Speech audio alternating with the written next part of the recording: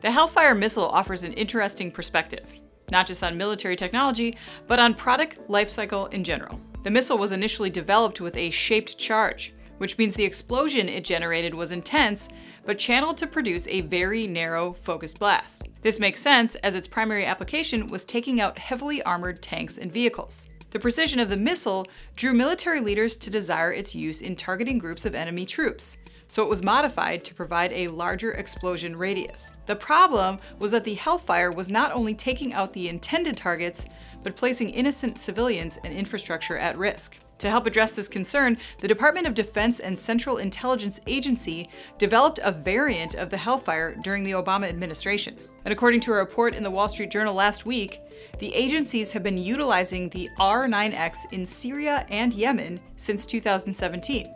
It's credited with taking out two very high profile Al Qaeda targets. The R9X is a missile, but instead of being packed with explosive ordnance, it's designed to discharge six metal blades seconds before impact. And seeing as how they're traveling at up to 1,000 miles per hour, they pretty much cut through whatever is in their way, like the roofs of armored vehicles or buildings.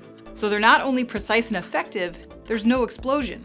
The R9X essentially reverts back to the Hellfire's initial mission of an extremely precise strike.